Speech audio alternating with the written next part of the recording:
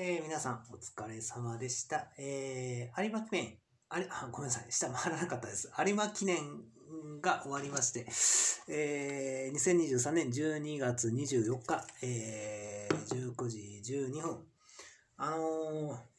ー、最後の直線のあたりのところから、まあ、外の、まあ、伸びてきそうな馬に頭をなんか貸したんですけども、未来の方から。えー、まあ、リアルタイムの時間帯で自分の頭の中は行ってたかもしれませんけども、あのーまあ、それだったら重ねがけの方ですね。まあ、あの、竹豊さんでした。やっぱりかと。最初、あのーよく、あのうん、まあ、動画で、あの、見たんですよ。で、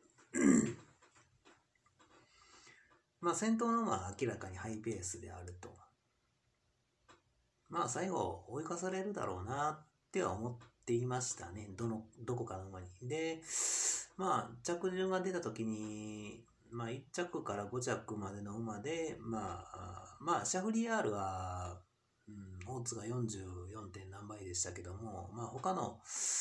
1着から4着までが、まあ、あの8点何倍以内ぐらいでしたっけ？まあ、それぐらいで、まあまあ、G1 をいくつか買ってる馬などが、まあ、大体上の方に来てるという、まあ、手堅いレースでありましたと。まあ、そういうところですね。で、まあ、竹豊さんの場合は僕と会ったことがあるからはっきりしてるから、まあ、その辺自動なのかもしれないですよね。まあ、喋ったことがあるとか。で、うん、福永雄一っていう騎手、福永博一でしたっけ？レクサス乗ってます。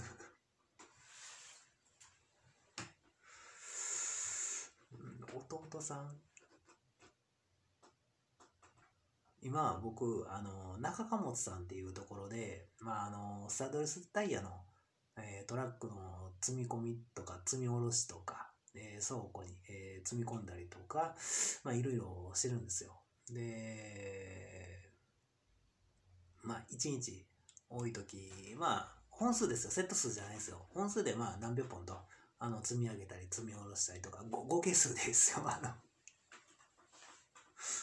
あのまあ、そういう仕事をしてるんですけども、うん、まあ、そのテレビ出てる人って偽名の人いらっしゃるじゃないですか。その辺のところで、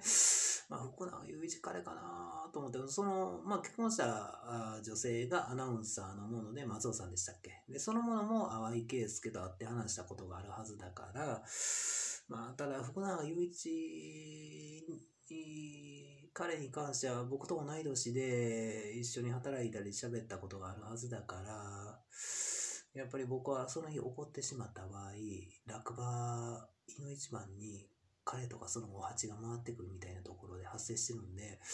もうとにかく大事にならないうちに、あの、いやいや、馬にね、顔面なんか踏まれたら、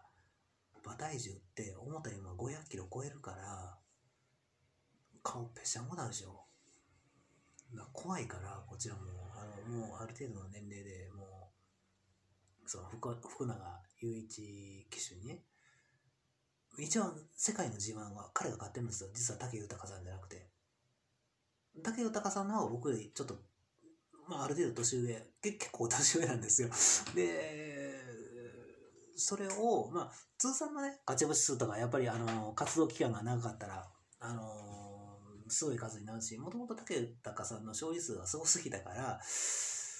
まあ、もともとの計画で、いや、阪神・淡路大震災があったし、海外の G1 を買ってくれた方がこちらとしても、っていう話だったんですよ。で、本人がその時にいたかどうかわかんないんですよ。もう政府上層部とかでもそういう話で固めてるから、方向性として。あのーいや、農林水産業の傘下だから JRA。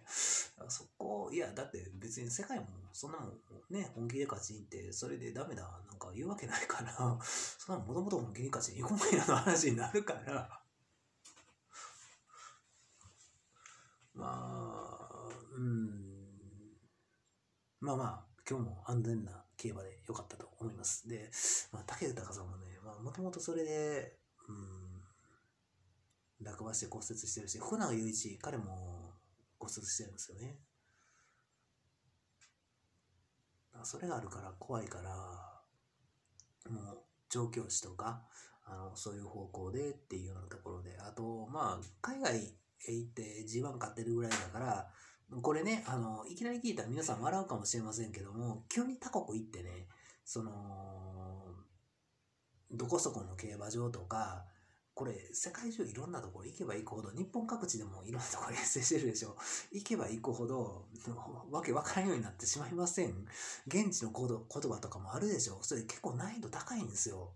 あの、そこの、その、預ける厩舎の人との顔合わせとか、ああ、誰それさん、それならわかりますとか、それがあったら話早いから、だから、あのー、馬のね、預け、預けさせてくれるところと、どこの、その、調教場を、その、使わせてもらえるかとか、あの、バウン車の、その、手配とかね、そういうところがスムースに、あの、スムーズ、スムーズ、スムーズ、あススムースじゃない、スムーズ、ズズーム？あれ？ちょっと僕はあの、今横文字わかんなくなってるんですけど、あの、まあ、さっき頭貸してたから頭の中、時間10超えての、やっぱりそれあるから、ただそれ、他のスポーツの今の時間帯に行ってる可能性もあるから、正直創作風のそのリアルタイムの時間帯であだわなが、がっていうのもあるから、ちょっとそれは難しい。まあ、とにかく僕軸で動いているのはまず間違いない。で、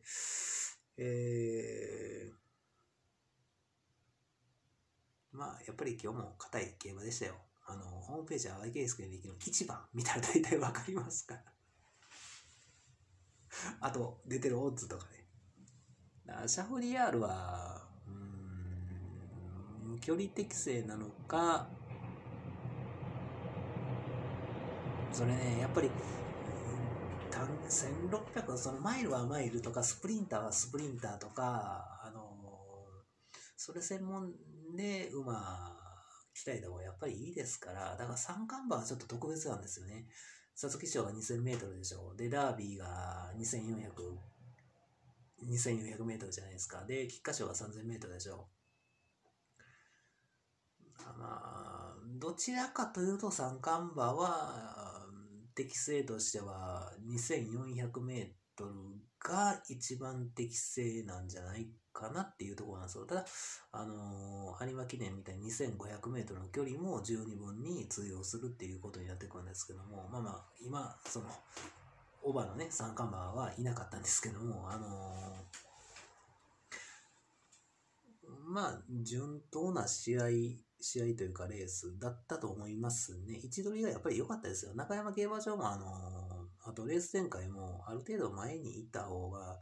やっぱり後ろから追う追う時って、最後の直線、中山競馬場短いでしょ？で、ある程度先行型の方がいいのと、まあ一番前の馬とかを追い越す。まあ厳密に言うと3番手ぐらいの位置づけだったような気がするんですけども、あのー、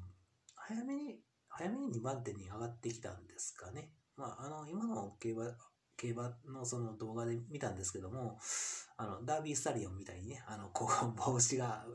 帽子って言ったらいいんですかね、あの、色、もともとはダービースタリオン、帽子で表現されてたんですよ。で、あと色つけて、で、大体何番かっていうことが分かりやすくっていうことね。で、まあ、どういうふうな位置で移動してるかっていうところ。だから、集団とかその後ろとかでこう馬の中でねこうごちゃごちゃごちゃごちゃなってたらずっと余計な体力がロスされる。で今はもう時速が何キロかで表示されてるからだいたい時速60キロぐらいでずっとこう走ってると。でカーブのところは時速58キロぐらいから59キロ。大体それぐらいですね。中山の、あの、2500メートルですよ。これだから、それだから、急に1200の話とか入れられたら、僕も話全然変わってくるから、時速が全然違うとか言われても、それは距離が全然違うから、それはもう人間も走ってみたらもうみんな分かってることだから、まああのまあまあまあ、今は表現がかなり、あの、しっかりしてるなとは思いますね。だからそれぐらいで、馬の実力とか仕上げてき方とか流れうんぬんとか、そういったところを含めて分かりやすくなってるんじゃないかなと思います。だから、位置づけですね。あすごくいい位置にいたと思いますよ。リユ、リユースでしたっけ？何かこう、リユースのようなエコロジーのような まあ、まあ、その、いや、わ、わかんないですよ。いろいろ、他国の言語いろいろ調べたら、ここの国ではこういう意味になってるわとか、それはあるっちゃあると思いますんで、えー、うん。まあ、武豊さんにおめでとうございますと。まあ、あと、1着から4着の着順は、まあ、順当に、やっぱり手堅い競馬でしたね。ホームページは、はい、ケースケの一番、あのー、YouTube にアップロードして、ホームページからアクセスできるように今日作ってたんですけども、やっぱりそうなりましたっていうところですよ。以上です。えー、皆さん、えー、チャンネル登録と着信通知を設定、えー、よろしくお願いいたします。もしわからなかったら、えー、周りの方に聞いていただいたり、えー、販売店の方に聞いていただいたら、えー、着信通知の設定ができるようになるかと思います。皆さんご協力ご対応のほどよろしくお願いいたします。今11分、なんか11分、さっき11分11秒。まあまあ、もうこれぐらいで終わってくれます。以上です。